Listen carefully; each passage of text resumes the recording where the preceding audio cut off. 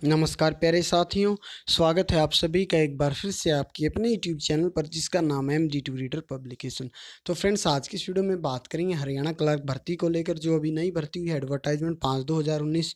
जो newly selected clerk है, उन सभी के लिए बहुत बड़ी और एक ज़रूरी सूचना इस वीडियो में लेकर आए अगर आप इंटरेस्टेड है वीडियो को पूरा देखिए।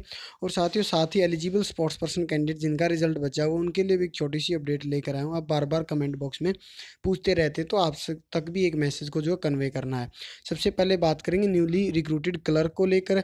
ये सी एस हरियाणा के द्वारा ऑफिशियल वेबसाइट पर लेटर जारी किया। Haryana government chief secretary office training branch के द्वारा लेटर जारी हुआ उनतीस सितंबर 2020 को। Regarding training of newly recruited clerk तो जो नए क्लर्क सेलेक्ट हुए हैं उन सभी की यहाँ पर ट्रेनिंग हरियाणा सरकार कराने जा रही है।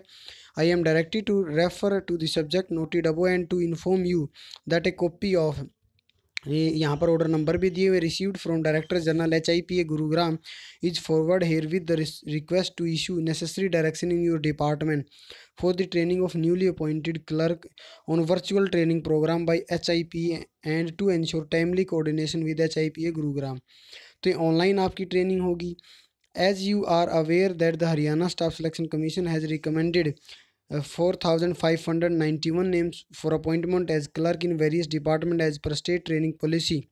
All the new entrants in Haryana government service are to be imparted one month induction training. HIP has obtained the department wise list of the number of clerk recommended by HSSC and has designed the induction training program for the said category. Since the number of training is very large and the classroom training are not feasible feasible due to the spread of COVID-19 pandemic in the first phase, HIP has planned one week virtual induction training for all the clerk तो इस प्रकार से आपकी training होगी online training होगी covid nineteen को ध्यान में रखते हुए ये पूरा लेटर है ऑर्डर है आप इसको आराम से पढ़ सकते हैं ठीक है तो ये ज़रूरी आप सभी के लिए था Keshni Anand Arora I chief secretary, government of Haryana और ये अब बदल चुकी हैं, इनकी जगह जो हैं, दूसरे हमारे चीफ सेक्रेटरी आ गए हैं। कौन आए हैं, वो भी हम, मैं आपको बहुत जल्द बता दूँगा, ठीक है? और रही बात ईएसपी e कैंडिडेट के लिए, एलिजिबल स्पोर्ट्स पर्सन वालों का क्या है? मैटर सोल्व हो चुका है।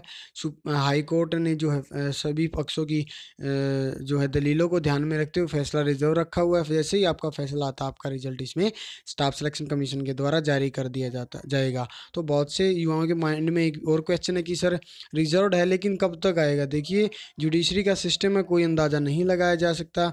आपका फैसला आने को आज भी आ सकता है और आने को दस दिन भी लग सकते हैं, पंद्रह दिन भी लग सकते हैं। तो इस केस में आपको सिर्फ़ इंतज़ार ही करना पड़ेगा आज की इस वीडियो में। फ़िलहाल इतना